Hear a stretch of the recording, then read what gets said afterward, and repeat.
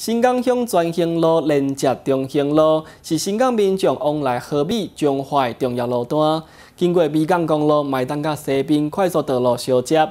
长久以来，因为车行顶的灯号无连锁，特殊车辆驾驶人行一底啊，就要动红灯。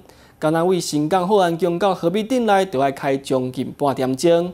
经过民众的申请，交通队甲公路总局会勘了后，同意伫早起中到暗时三上下班时段，将这段一点五公里长的道路车红灯号志改为连锁，互通行时间会当缩短。新港乡民代表洪荣新表示，早起中到暗时三上下班的时间，将改为专线连锁。部分车流量较少的路口，伫其他的时间拢会改成双黄灯。互民众通行搁较快速。咱中兴路呢，啊，一直甲大同路，一直甲美港公路，甲咱河港路这撮中兴路呢，青阳顶呢，伤多吼。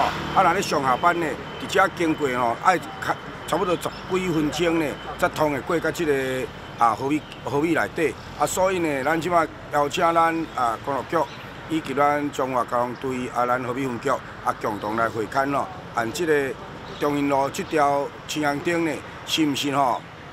有诶，甲开三个时段来上下班时间开就好。过来呢，啊来过来其他来同步连线，互咱呢行车呢会用吼顺畅，较袂讲吼上下班时间呢啊，干若要入去好比街啊呢，挡差不多在半点钟诶青阳灯，安尼呢造成上下班诶困扰。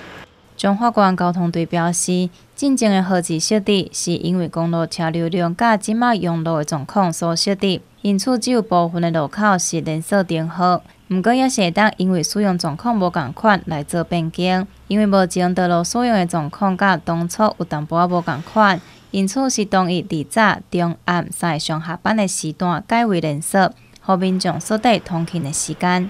连线以后哦，时间吼，咱本来停驶的青阳灯，才爱加凑十分钟出来，所以讲咱的时间精彩就加十分钟出来啊。因为专线路是重要的道路，虽然伫变更号志之后，民众会当大幅降低通勤的时间，但是嘛要注意莫超速或者是违规，避免肇事或者是受罚。新中华新闻李明宏新港采访报道。